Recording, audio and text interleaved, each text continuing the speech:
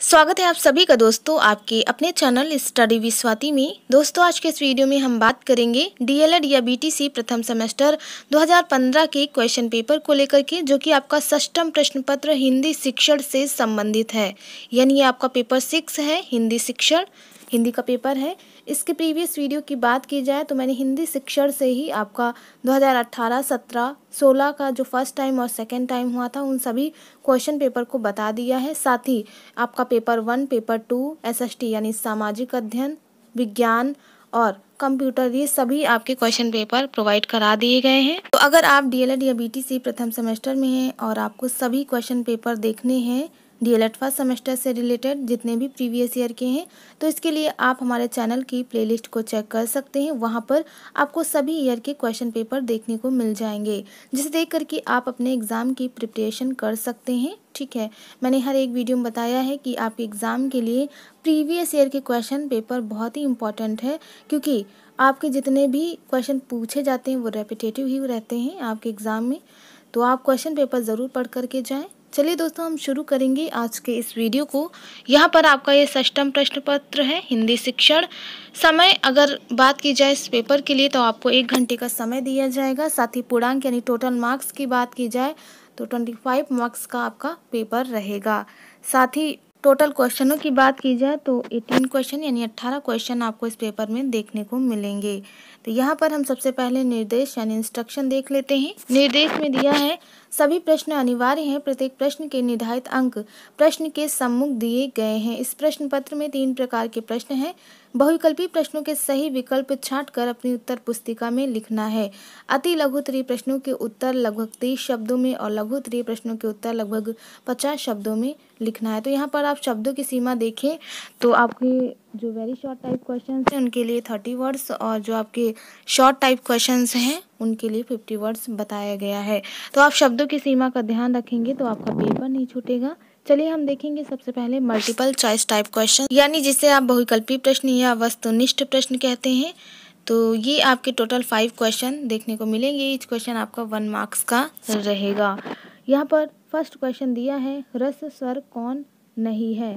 इसमें पहला ऑप्शन है छोटा सेकेंड ऑप्शन है छोटी ई थर्ड ऑप्शन है छोटा ऊ और फोर्थ ऑप्शन है बड़ा आ। तो इसमें जो करेक्ट होगा, वो आपको छाट करके अपनी उत्तर पुस्तिका में आंसर लिखना होगा।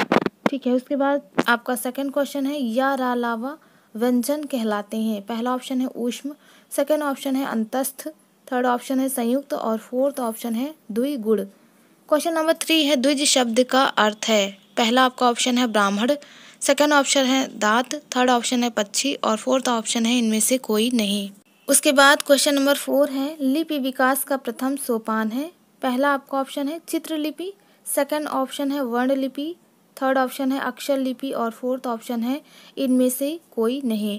क्वेश्चन नंबर फाइव है जंगम का विलोम शब्द है। पहला ऑप्शन है पुष्ट सेकंड ऑप्शन है यथावर थर्ड ऑप्शन है स्थिर और फोर्थ ऑप्शन है पूर्ण। तो यहाँ पर आप देख पा रहे हैं, इन सभी के उत्तर भी दिए हैं। ठीक है तो आप इन सबको उत्तर के साथ देख सकते हैं। और अगर बात की जाए इन सभी क्वेश्चंस की तो आप देख पा रहे हैं, अगर आपने प्रीवियस ईयर के क्वेश्चन पेपर देखा हो तो सभी में से एक एक आपको देखने को मिलेगा। ये सभी प्रीवियस ईयर ये तो 2017 का है, आप देख पा रहे हैं, ठीक है। और ये यार अलावा ये भी मैंने बताया था कल के वीडियो में। तो ये सभी क्वेश्चन आप देख पा रहे हैं, आपके रेपिटेटिव ही एग्ज़ाम में पूछे जाते हैं।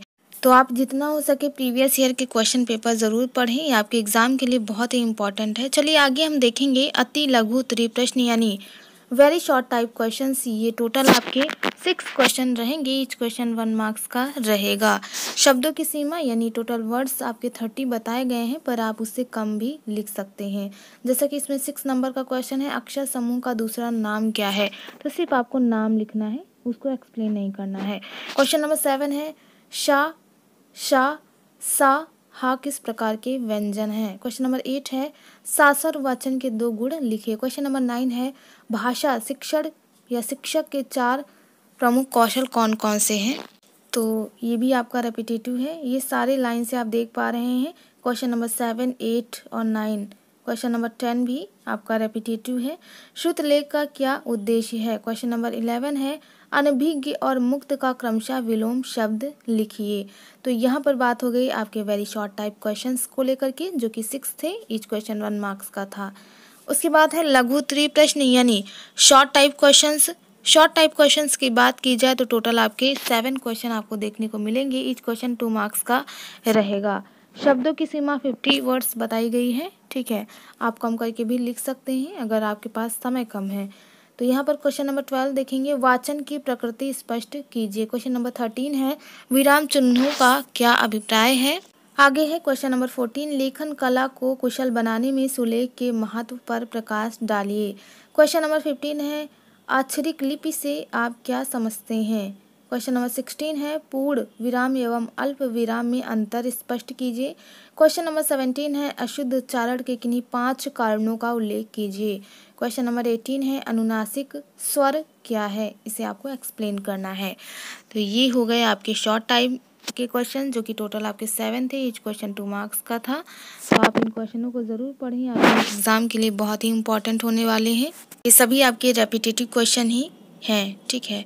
तो उम्मीद है दोस्तों, आप सभी को हमारा यह वीडियो पसंद आया हो। अगर आपको हमारा यह वीडियो पसंद आया है तो प्लीज़ हमारे चैनल स्टडी विस्वाति को सब्सक्राइब करना ना भूलें। वीडियो का नोटिफिकेशन पाने के लिए बेल आइकन ज़रूर प्रेस करें, ताकि मैं जो भी वीडियो अपलोड करूँ, उसका नोटिफिकेशन आपको मिल जाया करे।